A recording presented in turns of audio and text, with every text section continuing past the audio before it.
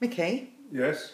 do you want to go to the art and craft fair again at Ardingly? No, thanks. We went yesterday.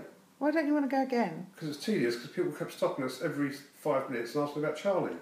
What do they say about Charley? What sort of dog is he? And I say he's a Newfoundland. They use him for water rescue. He used to tow the fishermen's boats in as well. Then they say, Did you know he was, he was going to be that big?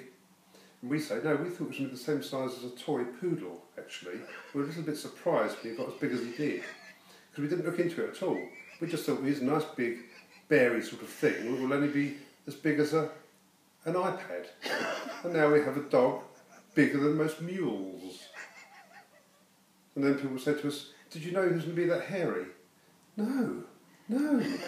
we thought he'd be shaved within an inch of his liffey. It came as a bit of a shock to us, I'll tell you. I just can't seem to put that Dyson down.